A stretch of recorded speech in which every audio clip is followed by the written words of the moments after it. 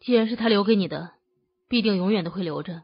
别急，你该休息了。”君北月淡淡说道。子晴原本紧绷的身子这才放松，他放开血针，莞尔一笑，知道自己如果不缓一缓，再怎么弹也弹不出来的。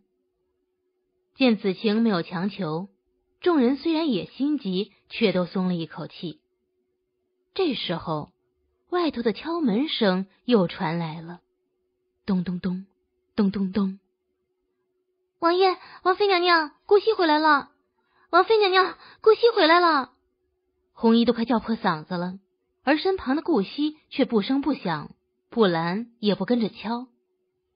在外多年的历练。如今的顾惜已经不再是之前那稚嫩青涩的小男孩了。他一袭蓝衣劲装，墨发高束，双手交叉负于身后，双脚同肩宽，笔直的站着，如同劲松。他目光沉毅、沉着冷静。与其说此时的他已经成长为一个有担当的少年，还不如说他已经成为真正的雇佣兵。顾惜回来了。子晴这才听清楚红衣的叫喊，顿时大喜。顾惜当年主动请缨去尧舜岛，他以一人之力不仅仅成功登岛，而且还混入岛上教派中，送出不少消息。尧舜岛的任务完成后，子晴问过他要不要回来，顾惜说想再在外头磨练几年。子晴以为他会因为食粮而不回来了，却没想到他还是回来了。这是件值得高兴的事啊！子晴看了一眼血征，虽然他很想马上就知道阿离留下了怎样的幻象，但是他还是忍了。抚琴，尤其是像那样的魔音幻象之曲，不仅仅需要状态，还需要心力。诚如北岳所说，阿离留给他的，必定永远都会在。过几天再谈吧，子清心中说着。亲自去迎接古稀，百里尾生这才靠近，轻轻抚过血征，喃喃自语：“小黎黎，我终究救不了你。不过你托的两件事，小生我可是都办到了，咱们两不相欠了吧？”说着，手指正要弹奏，却被君北月及时拦住了。“小心，血骨虽破，但这琴只认子晴一个。”百里尾生不信。避开君北月的手，轻轻一勾血针，谁知手指竟还真的流血了，吓得他连忙收回去。乖乖，还真是。绝老，你替他把把脉，看看是否全恢复了。君北月淡淡的道：“不必不必，我好着呢，不就是失忆吗？”百里尾生连忙推辞：“你确定你完全恢复了？”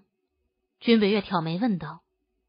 百里尾生正要回答，却突然顿了，蹙眉想了一下，很快面露难色。那个，从玉琼山到昨天那段时间，我我我干嘛去了呀？百里尾生琢磨很久，却怎么也想不起来，从玉琼山到昨天这段时间，他干什么去了？他努力的回忆，想得起来昨天在狱中发生的一切，也想得起来在玉琼山山洞里。和轩辕离歌、孟朵儿共同对付孟婉约的事，却偏偏想不起来这中间发生了什么。这段记忆似乎空白了。如果不是君北月问，百里尾生还没有注意到呢。他狐疑的抬头朝君北月和熊小宝看去，嘴角有些抽搐。书生叔叔，你不会？熊小宝也是一脸狐疑。薛老，替他瞧瞧吧。君北月淡淡道：“决明子把了几次脉，并没有发现什么异样，脉象很平稳，没有什么异常。记忆这种事难说了。”百里尾生坐了下来，捏着眉头睨了熊小宝一眼：“小子，这段时间我没有干出什么丢脸的事吧？”熊小宝立马将这段时间发生的事情一一告诉百里尾生，百里尾生这才放心。一脸无所谓，没干什么掉价的事就成，一辈子谁没忘点事儿呢？只是他转念一想，拍了下大腿，又道：“可惜了，你们这可难找厮杀呀！哎呀，真是可惜了，居然忘记。横竖这家伙是把过往都忘了，只要记住自己是谁，谁都出不了什么大事。见百里尾生没事了，君北月和决明子便去找子晴，留熊小宝一人陪着。门一关上，熊小宝便冲百里尾生嘿嘿笑了。百里尾生也回以笑容。书生叔叔，你真的什么都不记得了？熊小宝表示怀疑。什么意思啊？百里尾生挑眉反问，翘着二郎腿，嘴里叼着茶杯，吊儿郎当的样子。熊小宝上下打量了他一眼：“你真不记得某个月黑杀人夜，风高放火天的日子？你……”熊小宝故意吊着胃口不说下去。当然，百里尾生是老江湖了，任由他吊胃口、挑眉看着他，皮笑肉不笑的想着：“扯吧，你小子继续扯吧。”见状。熊小宝也不着急，喝了口茶，一本正经的说：“你跟我说了一个秘密。”百里尾生努了努嘴，示意他继续。熊小宝话到这里，一声长叹：“你说你喜欢，哎，可惜了，你喜欢的人不喜欢你啊。”这话一出，百里尾生嘴角居然僵了，不自觉的直起身子，坐得端端正正。他失忆的时候，对这小子说了什么不该说的话吗？还是被这个小子套出了什么不该说的话？他不会真跟这小子说他喜欢？记忆中似乎隐隐约约有那么一点点印象，他似乎问过什么人关于喜欢谁这件事。思及此，百里尾生立马一巴掌往自己脑门上拍下。儿女情长什么的，他最讨厌了。不就是十个亿吗？哪招来这么多麻烦？见百里尾生的反应，熊小宝乐了，反倒学着百里尾生刚刚的模样，挑着二郎腿半倚在榻上，闲适的呷了几口茶。百里尾生没有说话，双眸眯成一条直线，缓缓逼近。眼看百里尾生快要贴过来了，熊小宝立马坐起来，一本正经道：“你让我一定跟你保密。”反正你现在也不记得这件事了，我呢就当什么也没有听过。放心吧，我绝对不会说出去的。不管谁来贿赂我，我都不会说出去。这话百里尾生可算听明白了，他退了回来，冷笑道：“小子，书生我好不容易才恢复记忆，你这就敲诈我，不摸摸良心是不是？”熊小宝微微笑着：“书生叔叔，我哪里敢敲诈你啊？”我这是诚实跟你掏心掏肺呢，虽然你不记得你告诉过我什么了，但是我一定替你好好记着你喜欢的那个女人。百里尾生冷笑起来：“你就不怕我杀人灭口吗？”熊小宝立马把脖子伸长：“对，随便宰。”百里尾生一把揪住他的衣领，将他提了起来，却又放了回去，一脸的不可思议。不是吧，书生叔叔，你失忆了都记得自己喜欢谁，恢复记忆了怎么就不知道自己喜欢谁了？难不成你喜欢的女人有很多个，所以你不知道自己跟我说的是哪一个？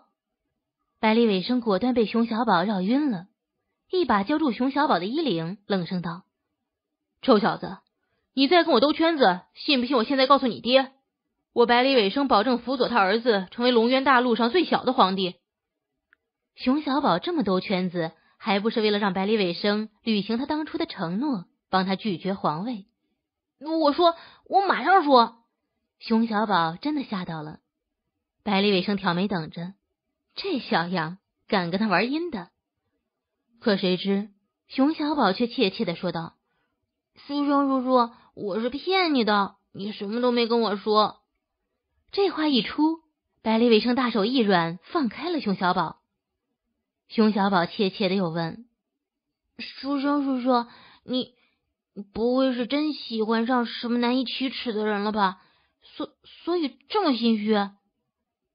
百里尾生一开始还没有反应过来，只是很快便回过神来，狠狠敲了敲熊小宝的脑袋：“什么叫做难以启齿的人？不是你，你你你真的喜欢谁了？”熊小宝认真起来。百里尾生这才意识到这个问题，目光有些闪躲，分明底气不足。喜欢个屁！全世界的女人老子都看不上，小孩子家家懂什么呀？他大大咧咧的嚷嚷着，便要离开，可都到门口了，却又折了回来。喂，那个孟朵儿还好吧？熊小宝看着他，没有回答。怎么了？百里尾生狐疑着。你说你连失忆了都不喜欢人家，人家能好吗？熊小宝反问道。我我怎么人家了？百里尾生问。人家想留下，你没有留，反倒把人送走了。熊小宝如实回答。孟朵儿喜欢书生，那已经是个人人都喜欢的事情了。听了这话，百里尾生轻笑了笑，还以为多大事儿，没事儿，以后估计也见不着，不用管他。熊小宝也这么想，他真觉得孟朵儿降服不了书生叔叔，不是一个世界的人。书生叔叔。等我娘的事情处理好了，我们就去南诏吧。那丫头在等着你呢。我也想见识见识毒窟。熊小宝很认真，这才是他关心的事。百里小生啊，百里尾生问道。嗯，熊小宝很认真，点点头。臭丫头竟敢威胁我，让他等着吧。搞定了熊小宝，百里尾生心情不错，哼着小曲儿出门了。熊小宝一脸不悦。有你这么当师傅的吗？子晴将琴谱和血筝交给君北月保管，放空脑袋休息了几日，身体和状态都恢复的不错。和顾惜许久未见，如今见顾惜长这么大了，沉稳懂事，心下安慰极了。虽然顾惜没有提，但是他还是想起了曾经非常信任的另外一个孩子石良，当初在南诏王都。石良的阴谋被揭穿后，被逐出门，从此就再也没有消息。子晴当然不会找，对于背叛之人，他从来不会给机会。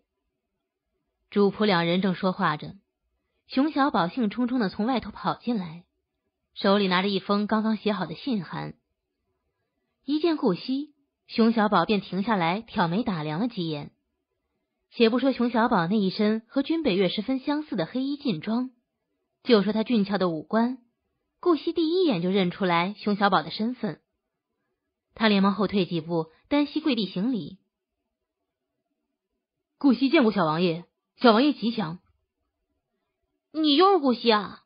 熊小宝一边问，一边懒懒的往暖榻上坐。属下正是。顾惜恭敬道：“哦。”熊小宝拉长了语气，心下琢磨着。这个家伙不正是石两的老相好吗？百里小生跟他说过，南诏药毒毒窟里养着一个毒师，叫做石两，是顾惜喜欢的人。怎么，你见过？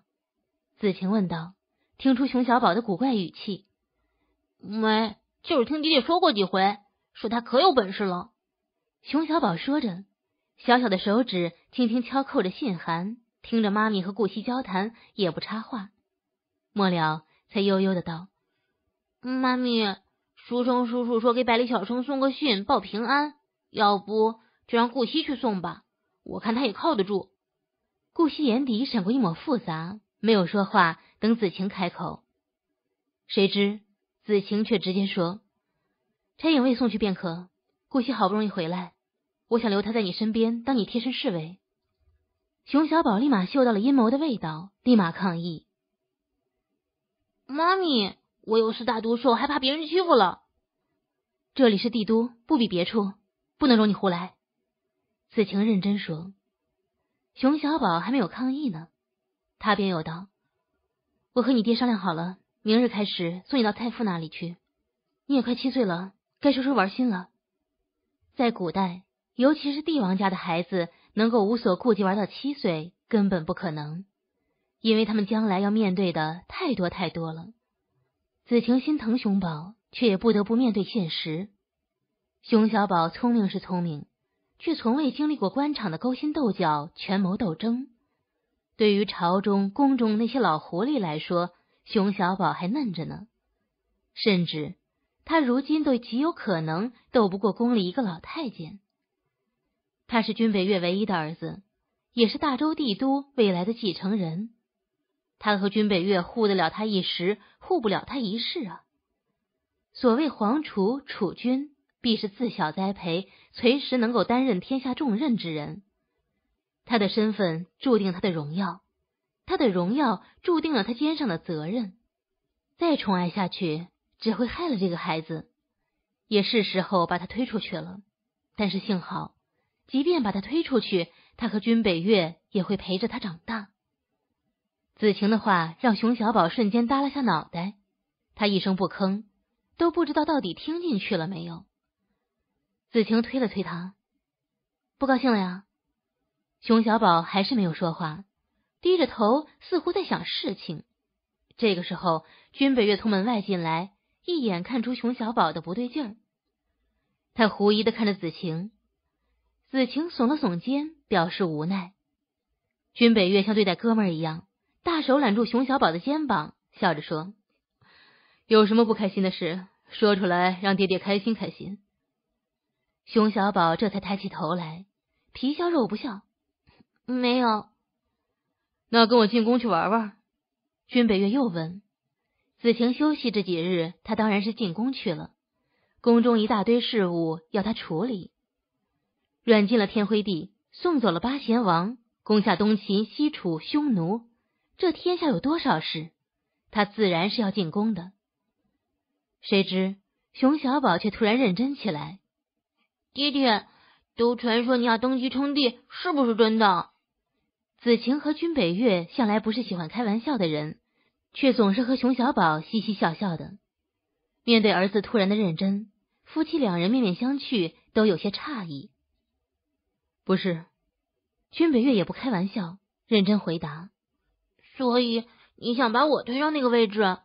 熊小宝又问。对，君北月如实回答。谁知这话一出，熊小宝却陡然怒声：“那你问过我愿意没有？”君北月微惊，没有想到儿子会有这么大的反应。他看了子晴一眼，缓缓拢起眉头，并没有马上回答。君北月和子晴其实本就打算好了，让熊小宝登基。君北月以摄政王的名义辅佐，一来对熊小宝来说是一个锻炼机会，二来君北月摄政王的身份办起事来就方便多了。他们这一家子搅得龙渊天下格局大变，总不能丢下这摊子不管吧？说他们是为熊小宝将来也好，说他们是不得已的自私也罢，他们确实是准备这么做的。看着儿子愤怒而冷峻的表情。子晴第一次感觉到儿子原来已经不小了。他笑了笑：“儿子，这不是正在问你吗？如果我说我不愿意呢？”熊小宝立马反问。子晴为正，却还是耐着性子：“儿子，你知道帝都的百姓都称你爹爹什么吗？”战神。熊小宝没好气的说：“不，都称你爹爹大周守护神呢。你爹爹不仅是妈咪的丈夫。”不仅仅是你爹爹，还是大周百姓的王。君北月说着：“这是爹爹的事情。”熊小宝淡淡说：“儿子，倘若有朝一日我和你爹爹离开了呢？大周该怎么办？”子晴又问：“明君谋的是当下，圣君谋的却是长久。盛世之治，非一代君臣可谋，必当经过几代积累沉淀。”立储乃国家大事，不立储，国兴不过一时，无以长久。